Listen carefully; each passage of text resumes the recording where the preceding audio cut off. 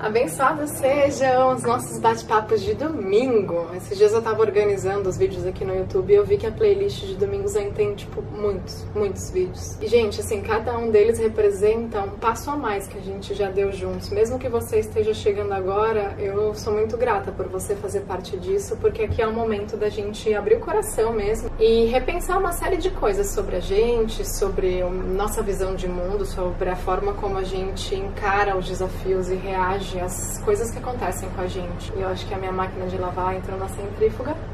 Só momento. é, meu bem. E hoje a gente tá aqui para falar de um negócio bem sério, assim, sabe? Porque eu vejo leio, recebo, né, muitos tipos de comentários que refletem visões, né, de vida, opiniões, padrões, crenças e às vezes eu confesso que bate um negócio assim, eu fico um pouco assustada na verdade. Com a forma como as pessoas se dirigem às outras. No meu caso é muito leve, porque eu acredito muito que a gente tenha e crie sinergia com quem está ali é, recebendo, então eu tenho essa sintonia com vocês, eu vejo muito respeito e muita empatia, que são dois valores que eu falo sempre aqui, mas vira e mexe aparece uma coisa ou outra e eu resolvi falar sobre isso. Eu vou ler um pouco do meu dia. os comentários que chegam e um pouco dessa montanha russa muito louca, que pode ser bem enlouquecedora. E talvez você viva isso em menor escala no seu dia, talvez você viva algumas formas de pensar e de falar e de agir que você não faz por mal, mas que estão enraizadas em você e talvez seja um convite a mudar isso. E esse é mais um vídeo de Domingo Zen. Eu falo sempre que o Zen, meu aplicativo, é uma porta aberta para mudança de padrões por tudo que a gente tem lá, os programas de desenvolvimento, os cursos que a gente tem e as próprias meditações guiadas que são ferramentas fantásticas para a expansão de consciência, para que a gente saia daquele modo assim, para que a gente expanda, veja a vida e veja a si mesmo de uma forma muito mais leve e positiva. Isso vai refletir na maneira como você também se relaciona. Então, se você ainda não conhece o Zen, tem link na descrição e nos comentários. E o convite de hoje é a gente repensar nossas atitudes e especialmente a forma como a gente vê o outro.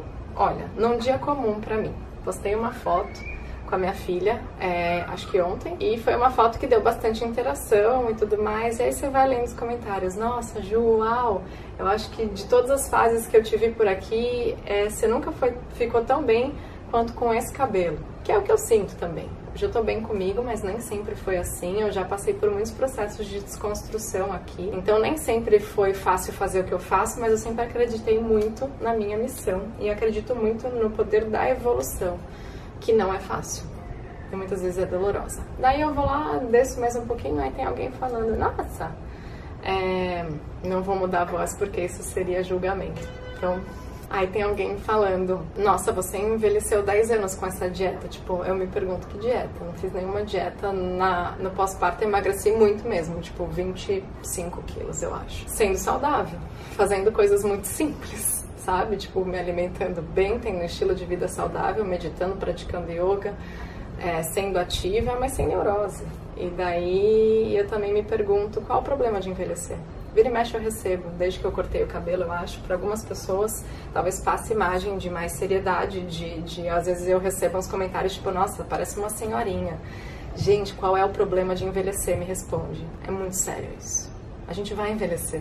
Isso é natural, faz parte do processo. E aí tem outros poréns.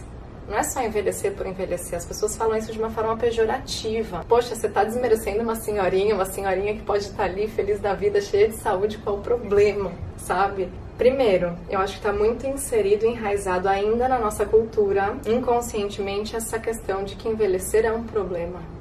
Mas eu não acho que seja isso por si só. Eu acho que tudo precisa de profundidade. Quando a gente olha para uma situação, para uma cronologia enfim, você precisa agregar valor e raciocinar. Tem qualidade nisso? De que forma que isso está acontecendo? Não é o fato por si só. Então tá, tudo bem, gente. Eu vou fazer 34 anos, vou piscar, vou ter 40 e aí? Qual o problema? E se eu tenho umas pés de galinha? E se de repente hoje em dia eu tenho uma flacidez no meu abdômen decorrente da minha gestação? Qual é o problema? Quanto mais a gente vibrar nesses conceitos de juventude eterna, nesses conceitos de imagem, de só olhar o que está por fora, eu acho que mais a gente vai sofrer. Eu não falo isso por mim, por receber esse tipo de coisa, porque felizmente hoje a minha integridade emocional existe. Felizmente hoje eu consigo ressignificar essas coisas, eu consigo processar tudo isso sem que seja tão destrutivo como um dia já foi, já me fez sofrer muito, já me fez fazer muita terapia, mas eu sou muito grata por esses desafios que me fizeram ser quem eu sou hoje. Mas aí eu pergunto para vocês, é, padrões de peso, de cor, de escolhas, de gênero. Tem tantas coisas que estão enraizadas que é importante a gente olhar e olhar com carinho. Talvez a sua forma de pensar hoje reflita é, quem te criou, reflita o ambiente que você viveu. Então, eu não tô aqui para apontar o dedo em ninguém, eu não tô aqui, tipo, para dizer que tem certo e errado. Eu sempre falo para vocês, vamos nos livrar também dessa dualidade e vamos enxergar quais caminhos seriam ideais e mais saudáveis, menos destrutivos.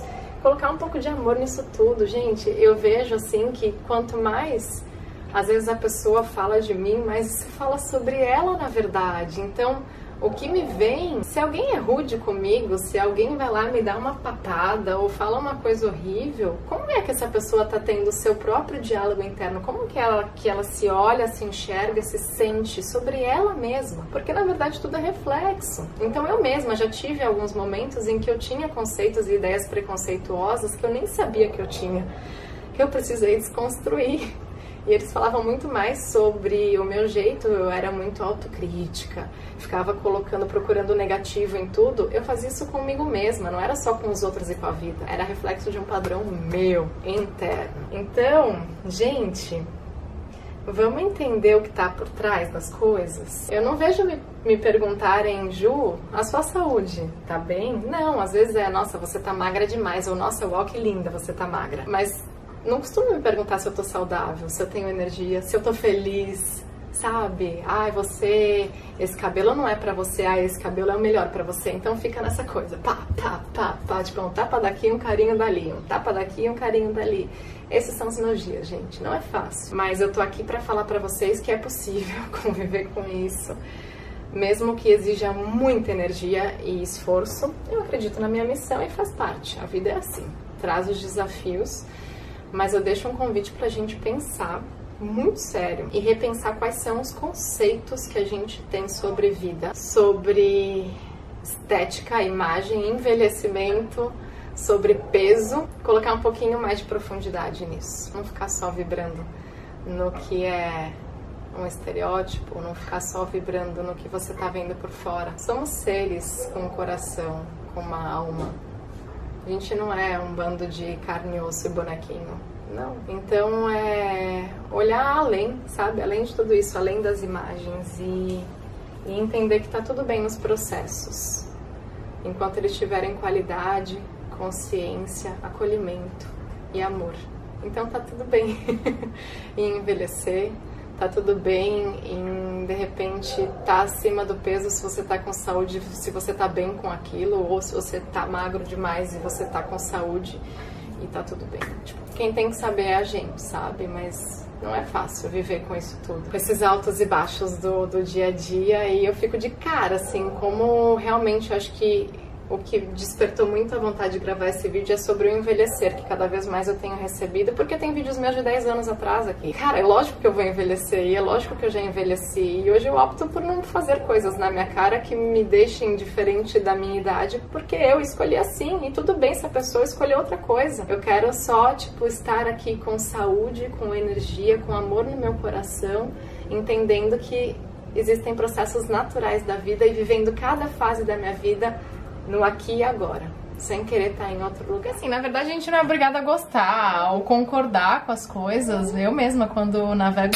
redes sociais, eu venho, tenho aquela fala que vem assim na minha cabeça, nossa, coisa horrível, ou ah, que absurdo. Mas assim, eu guardo pra mim. Então eu acho que é um convite a gente pensar a forma como a gente se comunica, o que a gente comunica, se existe a real necessidade de comunicar aquilo e se você realmente tem uma opinião, uma crítica que ela seja construtiva, que ela tenha profundidade. Porque enquanto a gente tiver uma visão de mundo baseada em conceitos rasos, Dificilmente a gente vai encontrar significado e propósito nas coisas ou simplesmente na nossa existência porque a gente vai estar vibrando naquele nível que não sabe, não vai além e é muito limitante. Então eu senti necessidade de falar um pouco sobre isso, pensando que também tem muita gente é, que sofre não é que eu não sofra mais, mas eu aprendi a lidar, porque quando vem alguma coisa que vem, né? Vem umas coisas, às vezes você fala, meu, mas por que, que a pessoa tá falando tudo isso, sabe? Por que ela tá cuspindo essas coisas pra mim? Me dá sensações, me dá taquicardia, me dá dor no estômago, me dá sensação de fraqueza, que são características até de ansiedade. Mas hoje eu sei como voltar ao meu equilíbrio, mas tem muitas pessoas que ainda não sabem e, e é muito destrutivo viver dessa forma. Então fica aí um alerta pra gente repensar certos conceitos que a gente tem e a forma como a gente enxerga as coisas e enxerga a si mesmo. Talvez isso tenha te cutucado de alguma forma, mas saiba que foi com amor e, e pro bem. É importante a gente se cutucar e às vezes abrir os olhos para coisas que a gente pensa e que a gente faz. Que talvez a gente não esteja percebendo, porque eu acredito que na maioria das vezes não é por mal, é reflexo, é reflexo do que está aqui dentro e a gente sempre pode melhorar. Então, se hoje eu estou em paz comigo, eu espero que você esteja em paz com você também, porque assim a gente vive melhor em sociedade, em comunidade, nos nossos relacionamentos dentro de casa, na nossa família. Se você gerar aceitação sobre você mesmo, é muito mais fácil de você aceitar e acolher aquilo que está à sua volta. Essa é a minha mensagem para vocês. Um grande beijo, namastê. Te espero aqui, te espero lá no meu aplicativo Zen. Tem o link aqui na descrição e nos comentários. E muito, muito obrigada por cada um de vocês que faz parte da minha experiência, do meu crescimento, da minha evolução. Um beijo.